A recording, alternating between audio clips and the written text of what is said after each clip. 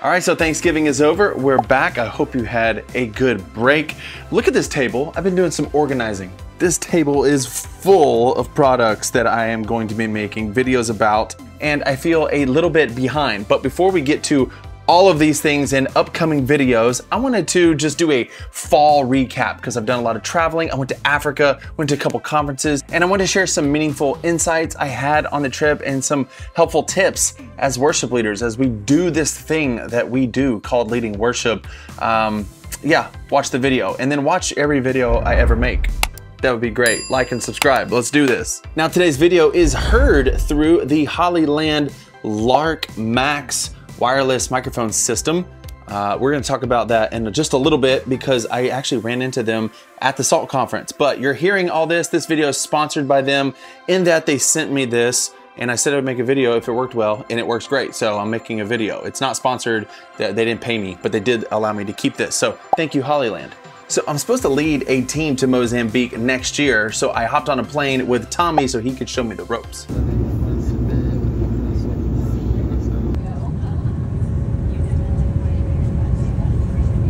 It was really surreal seeing Africa for the first time.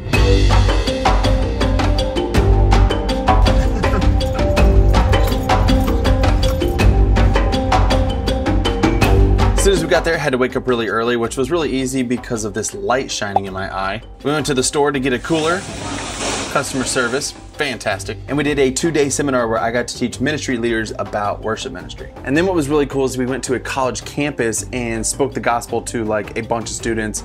Had a great time clarifying the gospel for some of them, telling them the gospel for the first time for some of them. It was a great day. And then we got to do something really special. We drove out to the beach, which Maputo is where I was at, the capital city and we got to witness one of the baptisms of one of the students who has been teaching. He was actually baptized previously, but he realized he wasn't a Christian when he first got baptized, so he wanted to do it again, and it was a great experience.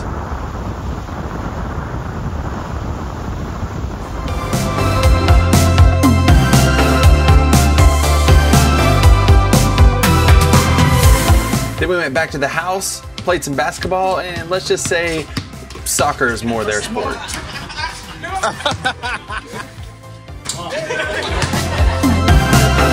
And then another day, we drove like an hour and a half away from the city into more rural areas as we joined another ministry. They were teaching some youth about purity and how to get ready for marriage. And I have several thoughts from that day. One of the things I picked up on is that even though these kids may not have had a lot, there was still a lot of joy. What I noticed is that there were no kids like hanging off to the side saying they weren't going to be involved, or there was not the, the cool kids. They were just all out there having fun.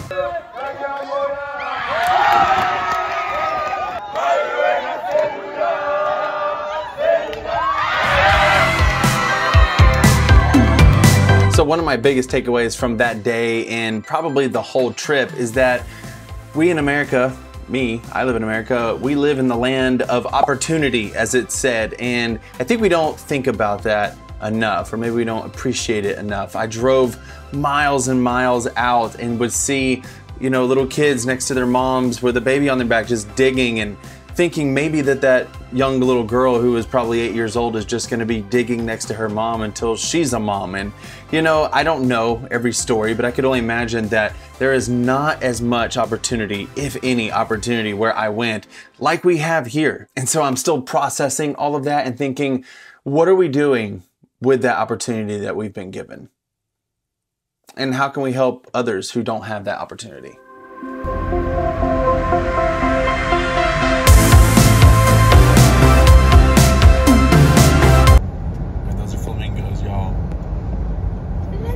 Definitely in Africa. We're not even at the zoo. Then we got to spend a day at Kruger National Park to see some wild animals, and it was amazing. No, I don't see it. It's in between those trees. You see a monkey? Oh, it is a monkey. I thought you were joking. Hello.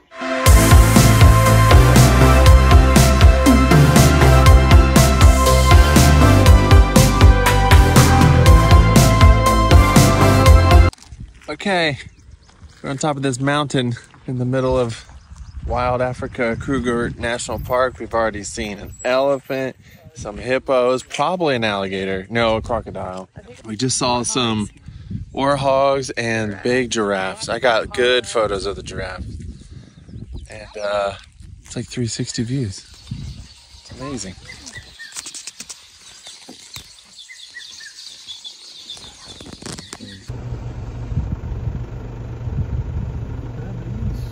But one of the coolest things was just being able to go to a worship service, an African worship service in Mozambique where I went. They speak Portuguese, but they also sang in their like original dialect and they had Portuguese subtitles and I was trying to worship in a third language. It was it was really great. Listen to this.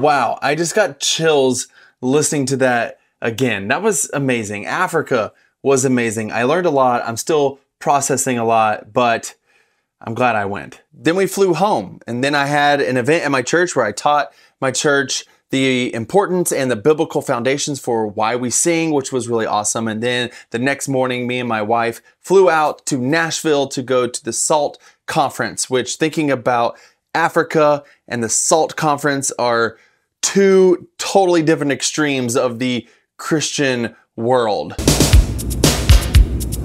Homeland. I hear country music playing. I don't even listen to country music. What's up, SALT community? We are at SALT 2023 right now. I'm with Jimmy Cooper, founder of Hey Worship Leader. All right, so this is where I'm gonna be spending like the next four hours when I start in an hour.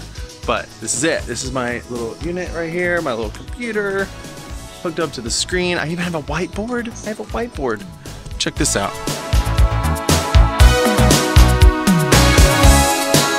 What is going on here? This is nuts. This is nuts. I'm Josh. Josh, I'm Jimmy. Nice Hey, good to meet you. So what is it for real? Well, so E- E2, yeah, E2I is our company, and uh, so we're just we do audio video lighting, uh, designed for ministry. So we are Right. we have Candyland, which is right, uh, uh, toys, lighting gear, video gear. It's you know, Oh, it's it's it's candy for tech people, right? Yep. So you can walk on the LED video floor. It's cool that you can walk on. Is there? Heck yeah. Is there a protective layer or something? There is. There's a thin. There's a. There's a uh, like a plexi lens on top of it. So Yeah, yeah. You can walk on it. We hope people will grab the game board pieces and move them around. And actually do it? Yeah, yeah.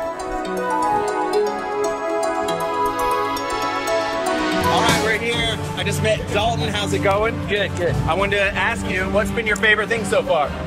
Um, so this is our first year here, um, and it's been so encouraging, so awesome. Uh, this is actually the first time I've actually been to a worship conference. So the fact that there are other people that are going through the same things, um, and running into the same challenges, just feeling that camaraderie of seeing all those people and, and hitting those same challenges and just being encouraged by them. It's just been so great. It's been super beneficial, very encouraged. Um, God is doing great things here. That's awesome, man. Very cool. Do you use Stringjoy? Yes. Awesome. I need to get some. I need to get some. Maybe they'll sponsor some. Now There you you go. on your hat. Good to see you. Thank you. How's the cotton candy? So good. Vanilla cupcake is where it's at. Yes. Yes. What Stubborn. flavor did you get? I got bubble gum. Bubblegum and everything. Oh man. Just ran into my friends at Hollyland. This is Haley. Haley and Michael. and Michael. And so we're just going to hear some of what they have to offer. And you are hearing one of their products called the Lark Max. Is that right? Yes, sir. Yes, sir. So tell us a little bit about Hollyland. Yeah. So uh, my name is Michael. I'm the branding and communication specialist here at Hollyland, and we brought some of the products out here today. It's a Salt conference, so this is going to be our Solidcom C1 Pro. So this is going to be our fully, uh, fully wireless intercom system. This is going to give you about 1,100 feet of range. It's going to be fully operational with a, without the hub. We also have a hub system if you'd like to purchase that as well. Um, each of these systems comes with a replaceable battery as well as a charging dock as well. Um, this is our first uh, intercom system that comes with environmental noise cancellation. So on the microphone, if you want to take a look here, you can, when it flips to blue, so you pull it down and it's blue, this is going to be the environmental noise cancellation. And when you turn it to green, that means that it's going to be fully operational um, without the environmental noise cancellation. Pull down the talk, push up the mute. Perfect. So if they want to reach out to you, how do they connect? Yeah, so you can go to our website. It's store.hollyland.com. Very cool. Yeah. All right, man. Have a good nice one. to meet you. Yeah. All right, so the next part of the video, I went around to a bunch of different vendors and just told them to give me like their 30 second spiel. Some of them went a little bit longer and some of them I try to cut up a little bit. But if you don't want to watch this, I'll put try to put timestamps down below. But if you're interested to hear some of the latest tech from some of these vendors, uh, watch this.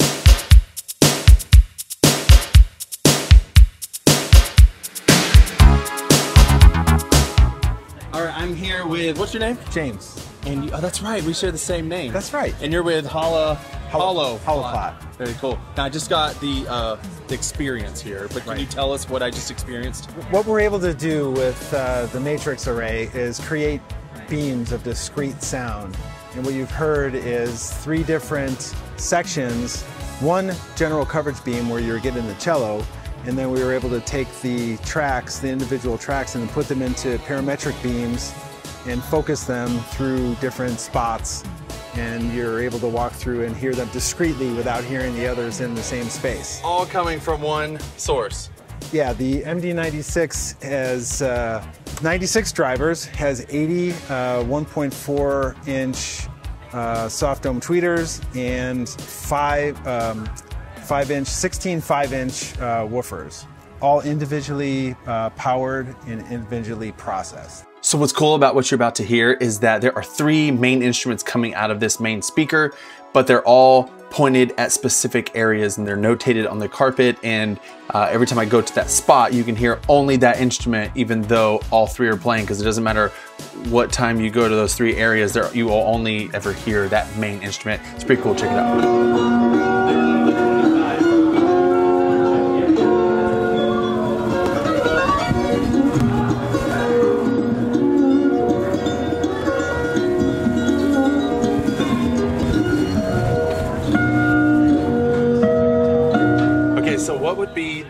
The most applicable context for this very cool technology? You can do a lot of really neat things like, you know, separate languages discreetly. Um, and the beams allow you to do lots of really neat things. But the one thing that it can do that nothing else can do is provide you control, absolute control in both, uh, in all dimensions. You can uh, shape left, shape right, shape up, down, and then in the um, in the far field as well. Very cool, man. Yeah. Thanks for sharing. Thanks, Jimmy. It's awesome. All right, so I have John here with Mankin. Tell us a little bit about the company. Yeah, so Mankin Media Systems is an uh, audiovisual lighting and managed services integrator. Um, we've been around for almost 23 years, and we love serving the local church. So we're here with some of our friends from Yamaha and ETC, just showing some of the newest, latest, and greatest. Um, but we would love to um, just talk about some of our services as well. So Yeah. not only great consoles, but we really feel like churches in particular, um, they really are looking for a river guide, uh, somebody who's going to come alongside them and not only just help them with a really elegant and savvy solution for some technical systems, but also somebody who's going to be there for the long haul, helping them navigate these treacherous waters of technology, um, helping them avoid that whirlpool of, oh man, why did I make that decision? Or um, from an executive level, hey, I want something that's going to land um, and last for a really long time. So, how do I develop that solution in a multi phased approach? It, it's really a system that enables you as a staff or a volunteer to essentially be an engine of discipleship. Um, you, the church needs you to be taking volunteers out and um, asking them how their walk with Jesus is going. Not on a ladder trying to figure out why a projector isn't working. Am I right? Or running down right. in the middle of service for um, to the children's ministry to try to figure out why ProPresenter isn't going on the screen. Give that to us. Um, we can do all that remotely. We can see what you see, hear what you hear, and that's just in a subscription-based service, meaning you're not going to get additional charges during the month. Um, so you can plan out for operating expenditures um, and be able to hand all of that stuff to us and become an engine of discipleship. So if you're interested, go to mankinmedia.com. We'd love to talk with you, um, start that conversation, and uh, really just uh, learn about you as well. That's awesome, man. Hey, Very thank cool. you so much. Yep. You want to tell the world what you do? What is Gloo? Do you know what Gloo does? So this is church.tech. And what this is is pastors are able to put in their sermons and it creates discussion questions for small group leaders to use during the week. It creates video clips um, for you to post on your social media.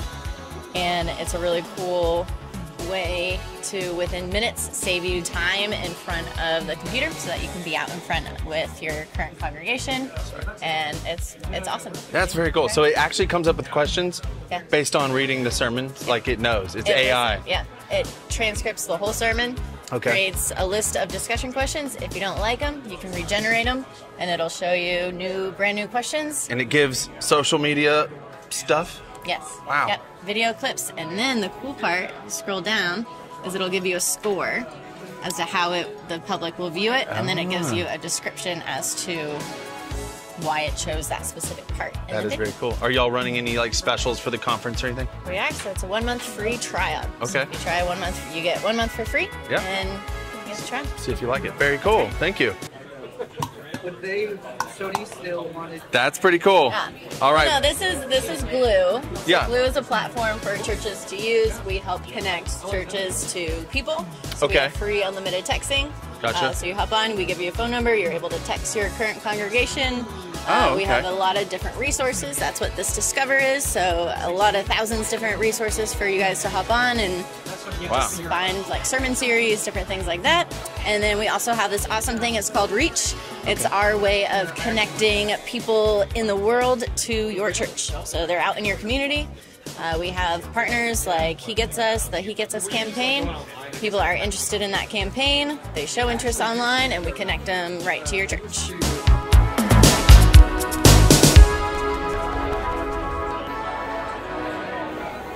Don't drop it. no, I'm not scared to hold it after he just told me the price. How's it? How much is it? Seventeen thousand dollars. That's it? 17,000. Well, My name's Dan. tell me Yeah. what EasyWorship is all about. EasyWorship is a church presentation software that allows you to display all your media content on the screen. Uh, it's easy to use, uh, inexpensive for a church, um, great for volunteers to use to present your songs, scriptures, media presentations, uh, all of that. It's it's awesome software to use. All right, so what sets you apart from other companies that do similar things? Uh, it's in the name. It's easy. Mm. It's easy to use. Um, we're a subscription-based software, so there's no intro uh, upfront cost. It's just a monthly or annual subscription. You're good to go. Site license. Use it on as many computers as you need for your church. Uh, lots of great features as well. Awesome. Where can we find you? EasyWorship.com. That's it. Or we're any- in Tulsa, Oklahoma, if you want to come visit us. Just come knock on the door. Uh, do you have any specials going on right now or anything? Uh, for the conference, we have 25% off the first year. Gotcha. Very Yep. cool. All right, man. Yeah. Let's hear from you. Yeah, no problem. So you're DC, and I actually know nothing about what you do, so this is perfect. Who are y'all? What do you do? Uh, DC Pro is a full service production and integration company okay. providing sales, design, um, integration, rentals, and full service production. It says Thor over there. Is this a certain? Tell us about it. Yeah, this is this is a Thor LED wall. Uh, this is the Ridge 2.5 pixel pitch. Um, this wall specifically is a 16:9 uh, aspect ratio build, where most video walls are 500 by 500 millimeter or 500 by 1000 millimeter. And basically, what that means is it's natively a 16:9 ratio. So if you do a 5 by 5 wall, it's going to be a 16:9 ratio, 5 wide by 5 Gotcha. Five high. Thor makes amazing products. Um, they are newer in the market. Um, I don't exactly know when they came to the market, but they've become kind of our one of our favorite go-to products for providing churches with an LED wall solution. Um, they're great to work with. Their customer support is amazing. Uh, they're church guys. They understand everything that you know everyone's going through and budgets and all of that kind of stuff. Um, they're in the United States. They're in the United States. In the United States. so they're fantastic. Thor is in the United States. I need a big hammer. Yeah, yeah. Tell us about Subsplash. Yes, Yeah. Subsplash. So I'm John with Subsplash. And we have been around in our current form serving churches and ministries since 2009. Wow. We are the we hold the distinction of being the first company to help a church put its own branded app in the App Store. So that was in late 2009, so the App Store is about a year old, and now we're serving about 18,000 churches and ministries. So not only mobile apps, but TV, Apple TV and Roku. We also enable your church to essentially create their own website on our, our platform, live stream and host your on demand media, sermons, but also small group content, that sort of thing. And then on top of that, also allow your groups to communicate with each other, your leaders to communicate with your groups, and even manage people, volunteers, family and household relationships, check in, all that fun stuff. It's going to add something to this? You could definitely. Okay. So, really, the point of the whole thing that we're trying to build is how many hours per week does normal churches get their congregation members? How many? Uh, like two, maybe, right? Two. Yeah. And as the normal stat state, state, people spend seven hours a day on their on their cell phones. So the age of distraction is real. Yes. And our hypothesis is that the Facebook, the Instagrams, the Twitters, the Target, for my mom, for my, for my wife, like Nordstrom, Amazon, right? Amazon, yep. They are discipling our people better than we are as a Big C Mm. Church. So can we use technology to actually cut through the noise and to actually not just increase a church's outreach to, to go extend their flock, but to also deepen that discipleship journey as well too through technology. So that's what we do. That's awesome. Very cool. Yeah. Yeah. So this, you are the head. You're the president of Salt. And yes. visionary Luke McElroy. And that's right.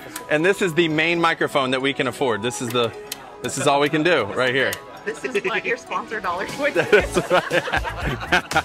I also had the opportunity to meet the Worship Probs folks and get to go to one of their breakouts where they recorded a live podcast and they they're really awesome people. So I think my biggest takeaway from both of these trips is that we as worship leaders need to lead worship like a missionary. Well, officially, as I think about it, I think about what do we need to do or not do to make sure that the gospel is heard. Our jobs as worship leaders is to use music to help the church sing, to point people to Jesus so they can respond in worship to him. And so, whether you are in Africa or you are in Nashville, Tennessee at the biggest tech conference ever, you still have to answer and wrestle with these questions. What do I need to do to ensure that my people can sing, that they can worship their creator in a gathered assembly as we come together without any distractions? Like all of this new gear, the fancy gadgets and tools, it can either serve what we're trying to accomplish or it can get in the way. And in my experience, it really just depends on the leader. And so I liked the heart of a lot of these people. They really wanted to serve the local church, they wanted to allow technology to free us up so we can do the work of ministry. I love the heart behind that, but each leader needs to answer this question uh, for themselves in their own context. You never want to fall into the trap, especially going to these fancy conferences, fall in the trap of having to have something just because another ministry does. That that never makes anything better. Like when I'm thinking about my trip back to Africa, they didn't have a lot of tech. They had some though. They used the tech that they had to serve the need that they had. They used PA system. They plugged their guitar in so people could hear it.